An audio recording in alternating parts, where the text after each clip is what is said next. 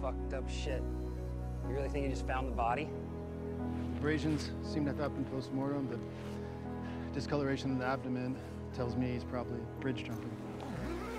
Find their bodies washed up on the beach all the time. It must have been where they found him. So it actually checks out. What do they do with him now?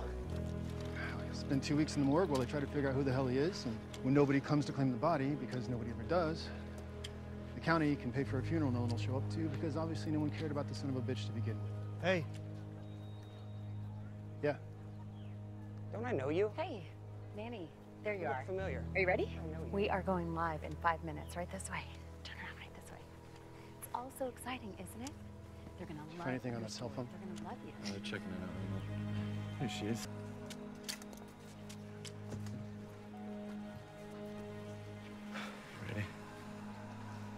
No, no. I don't shut it.